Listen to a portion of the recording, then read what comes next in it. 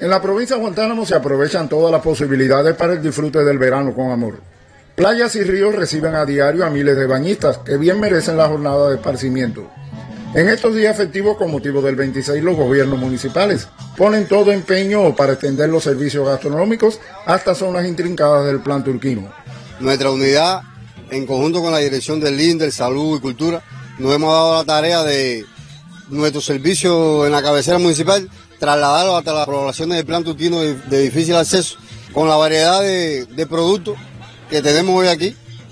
Fundamentalmente productos que también lo, podemos ver aquí en la montaña, como vemos el chatino, la chicharrita y los demás productos de, ya elaborados como el ron, la cerveza y pensada que hoy le traemos para acá. Momentos de asueto en Guantánamo para un pueblo trabajador, que en este verano con amor festeje el aniversario 70 del Día de la Rebeldía Nacional. Mejía Osorio, Canal Cubano de Noticias.